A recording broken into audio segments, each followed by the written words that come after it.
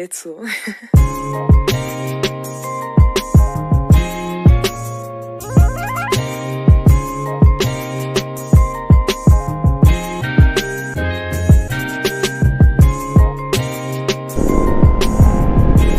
Ayos din dito ah, puro bangkingan ah.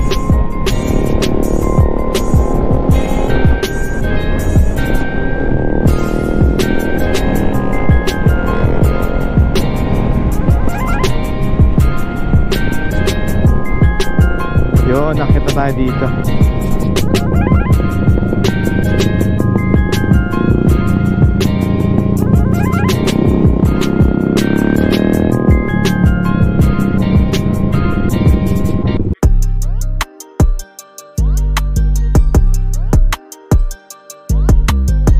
Yung what is up mga paps? Isang magandang umaga sa ating lahat. So it's a Sunday ride. So first ride natin after 2 months With Cafe 400 tong ride na to. Uh, So As of now hindi pa tayo pwede mag-drive ng decambio. So, Kaya scooter gaming tayo. Kung mapapansin nyo nagbayan-bayan ako. Bale ang usapan namin is Papunta kami ng uh, Cavinti. So shoutout kay Mick Siya yung nag-set na to. So dahil naka-oo ako a month ago Kasi akala ko mapapayagan ako ng doktor na, mag, na magmotor Ah Eh kaya napa-oo tayo. Unfortunately So kailangan natin sumunod syempre. So gamit natin si White Mamba Si ADV 160 Yun yung sinasabi ko Pag bayan-bayan boss. So andito na tayo sa may Santa Rosa area. Actually ang usapan talaga namin is 6.30 or 7 Sa Pamplasan sila. Siyempre ako hindi ako makapunta doon So ako dahil galing pa akong church Sumamba muna tayo Tapos diretso ride na after. Kaya nagbisan sa bahay. Pero ayan okay naman 7.30 Possible kakaalis lang din nila sa Mamplasan So magkikita kami sa may Ano na Bukal Los Baños. Kasi doon yung daanan eh. Los Baños, Macdo kami magkikita. Kaya binibilis-bilisan din natin ang bahagya Para hindi naman nakakaya, di ba? Kasi ako na nga yung scooter gaming Tapos ako pa yung pinakamatagal. So dapat nauna ako dun. Eh Yan o, SM Santa Rosa na tayo. Ang bilis, di ba? Parang wala pang 10 minutes Nandito na tayo agad. Galing sa bahay. Kaya tuloy-tuloy lang Ang galawan. Pero syempre Na may halong pag-iingat. Lalo na nasa bayan-bayan tayo. So maraming singitero at singitera dito. Kaya yun, doble ingat lang So ride safe sa lahat na nakakasabay natin yan. Sarap din talagang gamitin ito ni ano eh. ADV 160 Kahit saan pwede no? Lalo kung bayan-bayan ka. Sulit. Sayang hindi lang ako naka-attend kahapon sa ADV 160 One Nation Anniversary. Sayang. Eh wala eh, hindi tayo Pwede pa kasi masyadong malayo yun Para sa ride sa akin. So hopefully next year Makasama na tayo. So eh, nga pala si, si Ano natin Si ADV natin ngayon is nasa 1,600 natin yung tinatakbo. 6 months na natin siyang ginagamit. Ang bilis no? Pero yung plaka wala pa rin hanggang ngayon.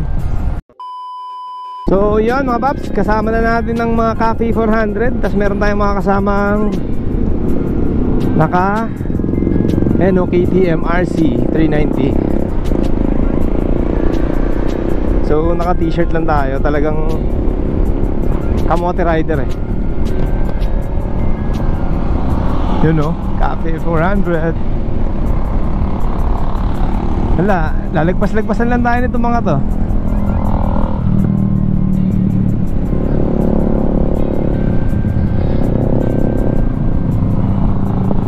Yun o cafe yun so andito na tayo sa Pansol. Di ko lang sure ilang ano minuto papunta doon si Mick naman nakakalam eh. Ilan ba kayo? 1, 2, 3, 4, 5, 6, 7 7 pala kami. At least diba natuloy din tayo. Hindi tayo makabanat eh. Tayo lang pinakamabagal dito. Pero papalag-palag naman tayo. Hindi nga lang sobrang bilis. Sakto lang. So ang lineup natin ngayon mga paps uh, Limang Cafe 400 Ako ADV 160 at saka isang kay Randall na KTM RC390 Yun yung lineup natin yan Mapipilitan tayong patakbuhin ng mabilis si ADV ngayon Kasi mabibilis yung kasama natin eh. Nakakamiss mag-drive ng cafe no? Yung ganyan maingay. Yun o, kay Randel oh. RC390 Sakit sa likod niyan, sir. Grabe, ingay, no? Ano bang pipe nito?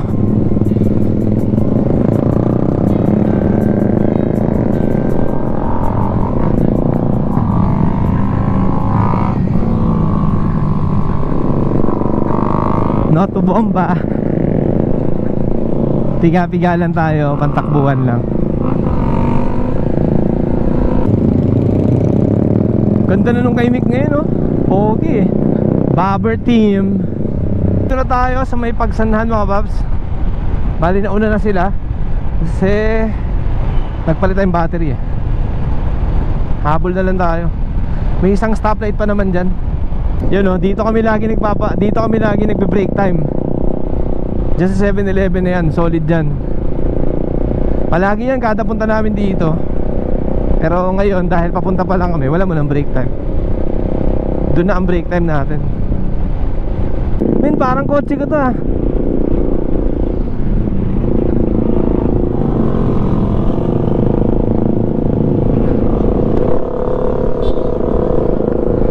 Kotse ko Kotse ko. Akin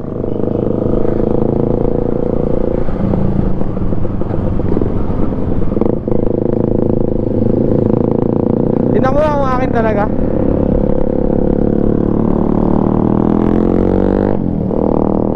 Pag yun. Di ba? Di ba na? Kala ko yung sa akin Hindi pala hindi. Iba plate number eh. UJP yung sa akin UJP 641 Shoutout kung sino man nakabili nun. Binarat mo ako. Kailangan kailangan ko lang ng pera no, pang pambili ng CB650 eh so yan dyan natin kinuha yung motor oh. Honda Star Honda. Yan Moto Central tsaka Star Honda. So dyan natin kinuha yon shoutout sa inyo. Hanggang ngayon wala pa rin yung plaka ng motor ko. Grabe. Napakatagal. Anim na buwan na po. Wala pang plaka. Yan oh. Pagsanhan. Ito yung ano eh parang vintage na arco yun oh. China oil oh. Bikers. Mga matinding bikers yan men.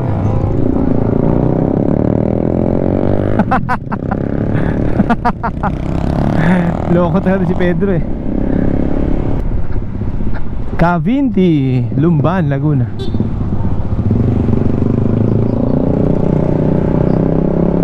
Pagsanan Falls. Ang ganda oh. Wow ang ganda. Ganda oh mahal niya pag pinakilo. Ganda pala dito. Aling taling. Pinagsanhan. Iba pa yung pagsanhan sa pinagsanhan. Lamig dito ah. Nakadaan na kami dito last time. Nakasibi pa ako nun eh. Pero hindi kami dito kumain. Doon kami sa taas maganda kalsada dito pero pagdating sa kabila medyo onting malubak ng onti lang naman may sabi ko medyo ganto ganto na dito paakyat sa akin walang problema kahit gaano pa kabutas-butas yan palag-palag tong motor ko eh Boss, kamusta biyahe? Ha? Kamusta biyahe? Chill? Chill lang. Chill lang, chill. Ah, sa Bon, ano to? Buen, ah, Hindi kung lang ano pang race track, pang long ride pa. Les Caidas. Yun, Las Caidas pala, wellness resort. Yan, so pet friendly to. Oh, thank you. Yun o.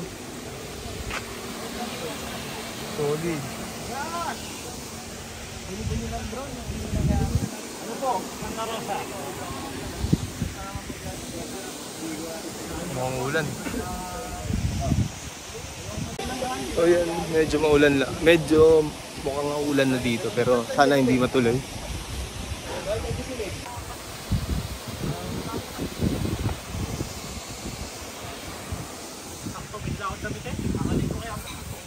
Ligo muna tayo. Saan tayo ligo? Hello po. Good morning po. sir.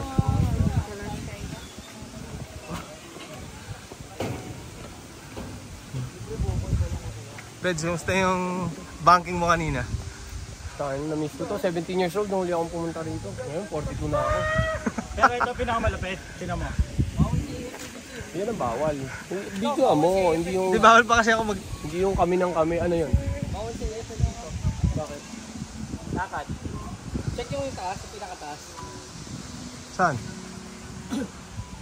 Lahat ba may titulo na pagka ano, kung sakali? Pag na... May lahat ba may titulo na kung sakali? Pagka inabail natin? Ready title na ba yun, Nick? Ang daw maganda dito. Yun, so... Yun, napakatindi dito, maganda. Ayun oh.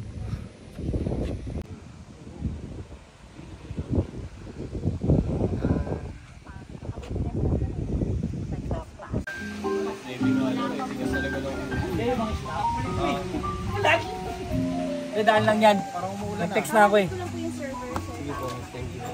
Sir, ano masasabi mo sa ride natin? ako dyan, puta lagi mo. Yung pa ako nililibre sa vlog mo. Ikaw nga panira sa vlog ko eh, kaya ka lagi kita Ayaw sinasabi. nag- nag-unsubscribe lahat.